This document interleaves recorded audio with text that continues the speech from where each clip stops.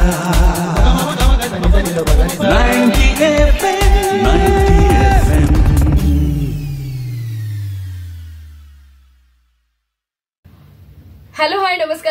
मी आरचे कोमल तुमच्या सगळ्यांचं पुन्हा एकदा स्वागत करते. तुम्ही ऐकत आहात Acharya ninety F M your own radio आणि आपला नवरात्र विशेष कार्यक्रम नवविधा.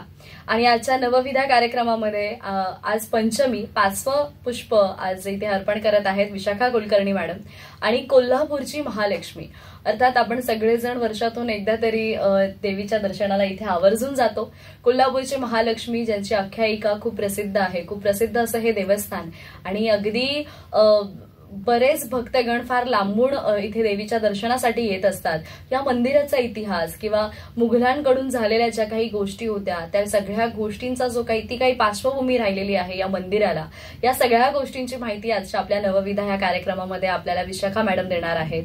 त्याचबरोबर चैत्र पौर्णिमेचा देखावा असो नवरात्र असो किंवा सगळे सण उत्सव कशा पद्धतीने इथे साजरे केले जातात याविषयी आपण आपल्या आजच्या या कार्यक्रमामध्ये विशाखा मॅडम यांच्याकडून जाणून घेणार आहोत.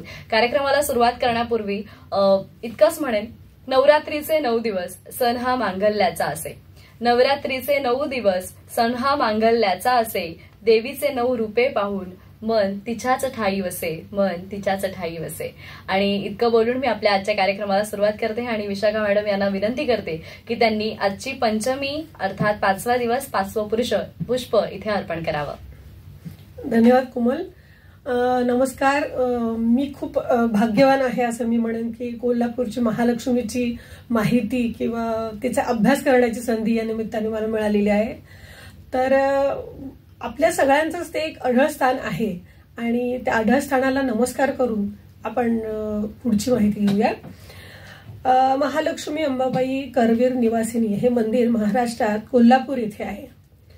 महाराष्ट्रात पुराणात उल्लेख केलेल्या एकशे आठ पीठांपैकी एक असा उल्लेख त्यांचा केला जातो. देवीच्या साडेतीन पीठांपैकी एक पीठ असं असाही त्याचा उल्लेख आहे. मंदिराच्या मांडणीवरून हे चालुक्यांच्या काळात इसवी सन सहाशे ते सातशे वर्ष पूर्वी बांधले असण्याची शक्यता आहे.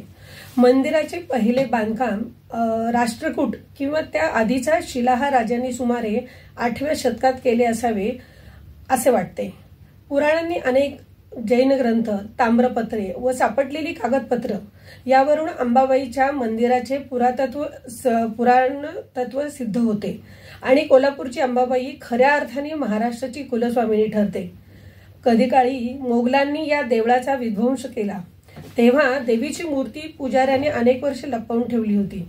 पुढे संभाजी महाराजांच्या कारकिर्दीत इसवी सन सतराशे सतरा ते सतराशे बावीस या कालखंडात मंदिराचे पुनरुज्जीवन करण्यात आले.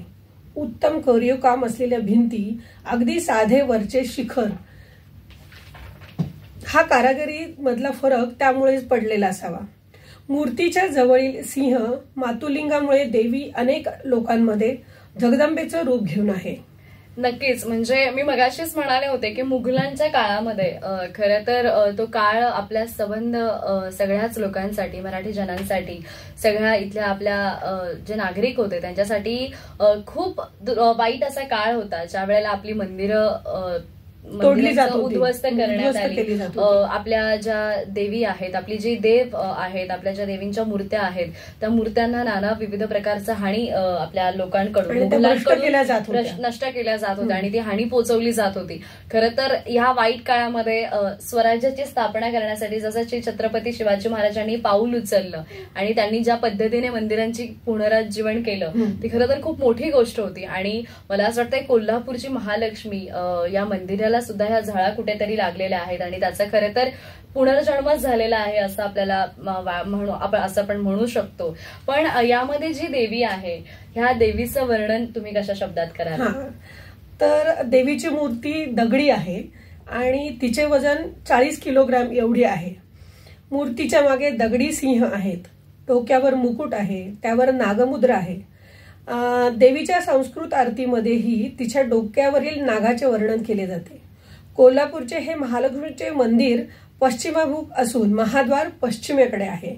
पारंपरिक मराठी शैलीचा आणि लाकडी सुरूच्या खांबांचा इसिबदार कमानी. आता इसिबदार हा त्यांचा शब्द आहे की जिथे खूप नक्षीकाम छान केलं झालं त्याला. इसिबदार कमानी असं म्हणजे, म्हणतात. आपण बघतो ना की जे फार पूर्वीची जी मंदिरं आहेत किंवा फार पूर्वीची जी देऊळं आहेत. त्या देवळांच्या रचना किंवा त्यावरती ज्या पद्धतीने अतिशय बारीक असं कोरीव काम केलेलं असं असतं. काम. केलेलं असायचं. त्याला ते इसिपीदार असा शब्द. वापरला जातो.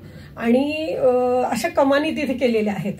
सभामंडप प्रवेश केल्यावर दिसतो गेल्या दहा शतकात मंदिराची अनेकदा वाढ झालेली आहे. मंदिराचे चार महत्त्वाचे भाग आहेत.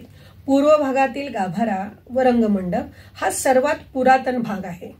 देवीचा गाभारा येथेच आहे. उत्तरेकडील महाकालीचा गाभारा तर दक्षिणेकडील महासरस्वतीचा गाभारा असून या तीनही मंडपांना जोडणाऱ्या मंडपास महानाट असा एक शब्द आहे. आणि हिंदू धर्मशास्त्राप्रमाणे मूर्तीच्या प्राणप्रतिष्ठेबरोबर मंदिराचंही देवपण प्राप्त होतं. म्हणून जेव्हा देवीची स्थापना त्या ठिकाणी केली गेली आणि देवीची स्थापना केल्यानंतरच त्या मंदिराला देवपण मिळालं. असं झालेलं आहे. त्यामुळे देवळाची डागडुजी व वाढ करणे संमत असले तरी कोणताही भाग काढून टाकणे किंवा पाडणे मान्य नाही. म्हणजे लोकांनाही नाही आणि मंदिरातल्या जी काही काम करणारे लोक आहेत त्यांनाही नाही. त्यामुळे जुन्या देवळांची मोठी वाढ झालेली दिसते. चैत्र पौर्णिमेच्या वेळेस एका मागोमाग एक असा चढत जाणाऱ्या व दीपांनी पाजळल्या जाणाऱ्या तीन शिखरांचा देखावा अवर्णनीय असतो. क्या बात आहे. देवळाच्या भिंतीवर नर्तकी वाद्य वाजवणाऱ्या स्त्रिया मृदुंग टाळकरी विनावादी आरसेकरी यक्ष अप्सरा योद्धे किन्नर कोरलेले आहेत. देव देवळाच्या प्रकारात शेषशाही व दत्तात्रय विष्णू गणपती अशा अनेक देवतांची देवळं आहेत. आणि काशी व मनकर्णिका कुंडे पण आहेत. महालक्ष्मी हे जागृत देवस्थान व नवसाला पावणारी देवळी असल्यामुळे असल्यामुळे नवस फेडण्यासाठी सर्व काळ जनतेचा ओघ तेथे असतो.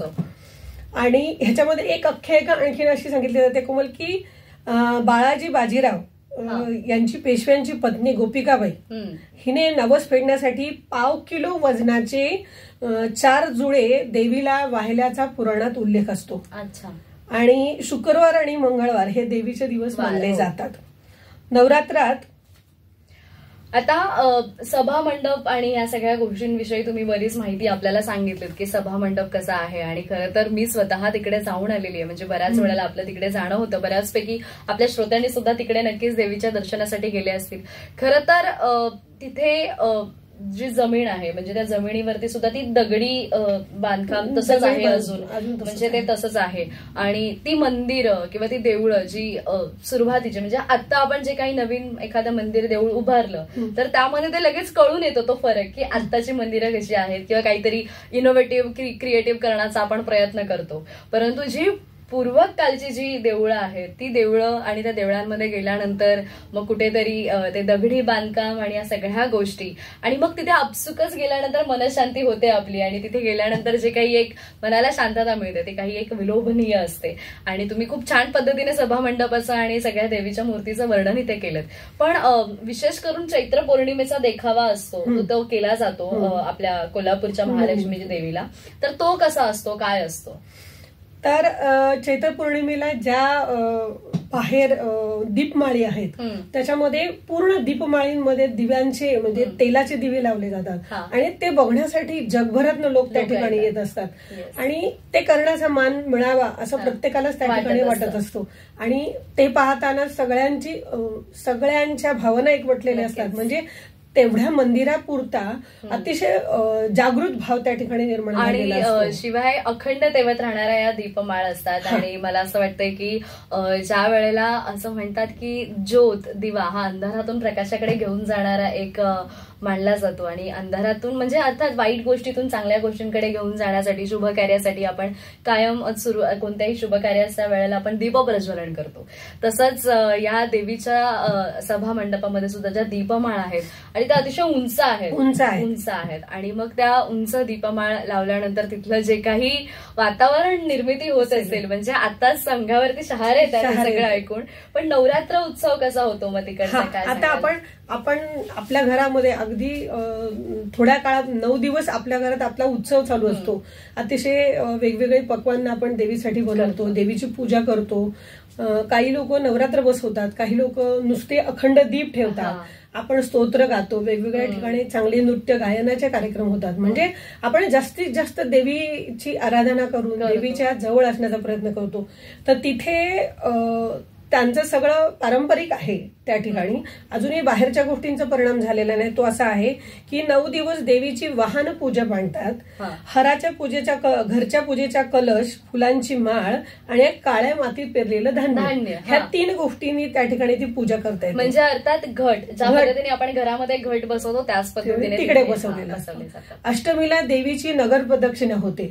ती नगर प्रदक्षिणा करण्याचा मान तेथे परंपराने आलेल्या लोकांसाठीच आहे.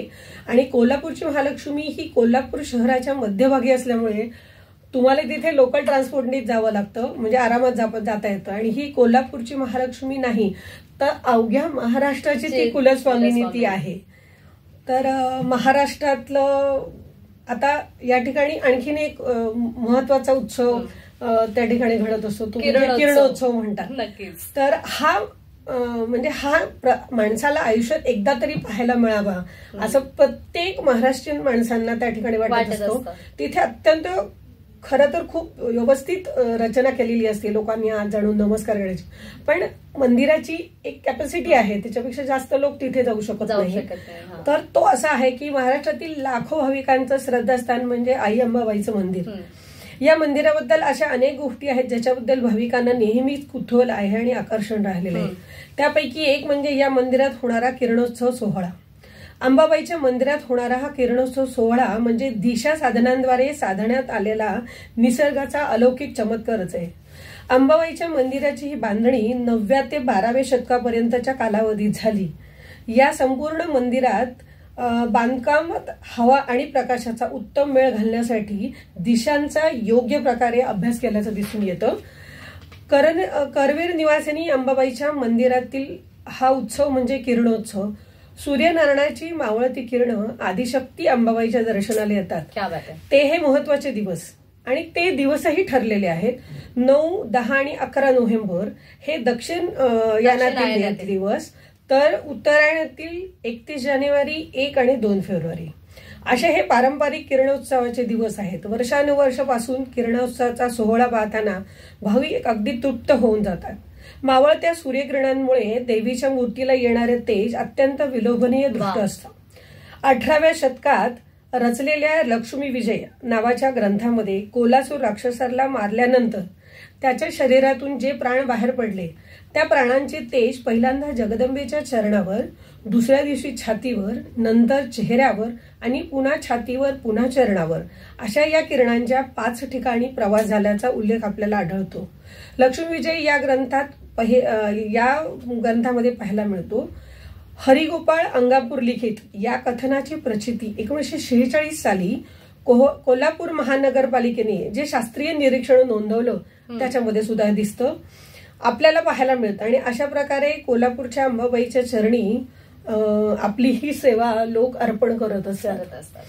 आणि ह्याच्याबद्दलच्या आख्यायिका आणखीन अशा आहेत की आपण स्त्रिया अगदी जन्मापासून किंवा मोठ्या झाल्यापासून म्हातारे होईपर्यंत दागिने साड्या बांगड्या ह्या सगळ्या गोष्टींची खूप आवड आपल्याला असते. आणि देवीलाही त्याच गोष्टींची आवड आहे. तर मंदिराच्या आवारामध्ये आणि मंदिराच्या बाहेर. असंख्य देवीच्या अंगावर असलेल्या दागिन्यांचीच दागिने रस्त्यावर विकण्यासाठी इथे आलेले आहेत. त्याच्यामध्ये कोल्हापुरी साज म्हणजे. वयात आलेल्या प्रत्येक मुलीकडे कोल्हापुरी साज. असलाच पाहिजे आणि तो कोल्हापुरी साज घालून ती अशी मिरवते की तिच्याकडे दुसरं कुठलं दागिनच नाही. सगळ्या प्रकारचे देवीचे दागिने आणि हिरव्या बांगड्या म्हणजे हो. तिथून बाहेर पडताना तीन तरी हे तीन तीन दोन्ही हातामध्ये हिरव्या बांगड्या घालून बाहेर पडायची चुडा, घालण्याची पद्धत आहे. तिथून आणि तिथे आणखीन एक आहे की माहेरी आलेली मुलगी मंगळवारी आणि शुक्रवारी माहेरी. सासरी जात नाही कारण. की हो. ही घरातली मुलगीच देवीचं स्वरूप मानलं जातं हो. आणि त्यामुळे लक्ष्मीला आपल्या घरच्या लक्ष्मीला आपण मंगळवारी आणि शुक्रवारीच कसं पाठवायचं मागचे. काही आख्यायिका तिकडे आहेत नक्कीच त्यामुळे तिथे जन्मलेल्या तिथे वाढलेल्या मुली खरं तर भाग्यवान आहेतच. पण आमच्या प्रत्येकांच्या घरात सुद्धा मूर्ती रूपाने म्हणजे. की ह्याच्या किंवा फ्रेमच्या रूपाने महालक्ष्मी आहे तर. ती खरं तर आजच्या काळाची ती गरज आहे आणि त्या स्त्रीला ती ताकद देण्याचं काम अंबाबाई करते. की माझी माझ्या स्वतःचं संरक्षण करण्याचं आणि समाजामध्ये मला शिक्षण घेण्याचं मला मान मिळवण्याचं हे सगळे जे मिळवण्याचं काम आहे ते दहा दिवस महालक्ष्मी मला देते देते. ती ताकद ते बळ. ते बळ आणि हे त्यांनी द्यावं. आणि महाराष्ट्रातल्या ह्या ज्या सगळ्या माझ्या छोट्या भगिनी आहेत त्यांच्या कोणाच्या आयुष्यात कधीही वाईट काही घडू नये त्यांच्या ज्या इच्छा आहेत त्यांना जे काही अ, शिकायचंय मोठं व्हायचंय वेगवेगळ्या क्षेत्रांमध्ये जायचंय ते त्यांना मिळावं. अशी अंबाबाईची चरणी मी प्रार्थना करते. उदे अंबे उदे. उदे. बोला अंबाबाईचा उदो, उदो. उदो उदो उदो उदो. खरंच खूप छान माहिती सांगितली तुम्ही आणि असं म्हटलं जातं की स्त्री हे देवीचंच रूप आहे आणि म्हणून स्त्रीचा आदर हा प्रत्येक घराघरात केला गेलाच पाहिजे. आज तुम्ही ज्या पद्धतीने या सगळ्या गोष्टींची माहिती सांगितलीत खरं तर कोल्हापूरला बऱ्याच वेळेला जाणं होतं कारण त्याच भागातली असल्यामुळे बऱ्याच तिकडच्या गोष्टी माहीत आहेत. किंवा आपण आता तुम्ही ज्या पद्धतीने सांगितलं त्या पद्धतीने पुन्हा एकदा साक्षात कोल्हापूरच्या अंबाबाईच्या तिकडे दर्शनाला गेल्याचा असा भास झाला. आणि खरंच खूप छान वाटतं जेव्हा आपण अशा ठिकाणी जातो. आणि असं म्हणतो ना आपण की खूप दगदगीचं आयुष्य जगतोय आणि अशा असं हे खूप अपडेटेड लाईफ जगत असताना खूप दगदगीचं आयुष्य जगत असताना खूप धाकधुकीचं आयुष्य जगत असताना कुठेतरी आपण छान आपल्याला मेडिटेशनची गरज असते. आणि मेडिटेशन म्हणजे काय? तर छान अशा ठिकाणी जेव्हा आपण जातो तेव्हा आपसुकच आपल्याला मनशांती मिळते. आणि आपल्या नवविधा या कार्यक्रमाच्या माध्यमातून आपण अशा छान कार्यक्रमांचं आयोजन आपल्या आचार्य नाईन्टी एफ एम वरती केलेलं आहे. छान छान कार्यक्रम छान छान माहिती जी माहिती आपल्याला फार कमी असते किंवा अगदी त्याचा जो काही पार्श्वभूमी आहे त्याचा जो काही इतिहास आहे तो आपल्याला माहीत नसतो. अशा सगळ्या गोष्टींची माहिती आपण आपल्या कार्यक्रमांमधून इथे देत आहोत. आणि विशाखा मॅम तुम्ही पुन्हा एकदा वेळ काढून आपल्या स्टुडिओमध्ये आलात आणि खूप छान माहिती सांगितलीत. आणि अगदी स्त्रियांच्या मनातल्या काही गोष्टी इथे बोलून दाखवल्यात. त्यामुळे मी आचार्य नाईन्टी एफ एमच्या वतीने तुमचे खूप खूप आभार मानते. धन्यवाद कोमल. मलाही त्यानिमित्ताने तुमच्या सगळ्यांशी बोलता आलं. आणि मला असं स्त्रियांचे हक्क किंवा स्त्रियांचं हे हे सगळं बोलायला हे करायला सगळ्यांना मदत करायला मला खूप आवडतं. आणि नाईन्टी एफ एमनी ही संधी दिली आहे की मला कुठेतरी पोचता येते. कोणाच्या तरी एका माणसाच्या किंवा एका मुलीपर्यंत जरी मी पोचले तरी हा माझा अंबाबाईचा जागर झाला असं मी नक्कीच. धन्यवाद. अंतःकरणात सामावली आदिशक्ती आदी माया अंतःकरणात सामावली आदिशक्ती आदी माया राहू जगदंबे आई भवानी तुझी कृपादृष्टी तुझी छाया तुझी कृपादृष्टी तुझी छाया. इतकेच बोलून मी आरचे कोमल विशाखा मॅडम सोबत इथेच तुमची रजा घेते. नवविदा हा कार्यक्रम तुम्हाला कसा वाटतोय? या प्रतिक्रिया आम्हाला कळवायला विसरू नका. त्यासाठी आमचा संपर्क क्रमांक आहे nine one six seven double nine double three double nine आणि या सेगमेंटमध्ये मी आरचे कोमल इथेच तुमची रजा घेते. आचार्य नाईन्टी एफ एम वर सुंदर म्हण मुराद गाण्यांचा आस्वाद घेत राहा. आणि ऐकत राहा Acharya ninety F M your own radio धन्यवाद.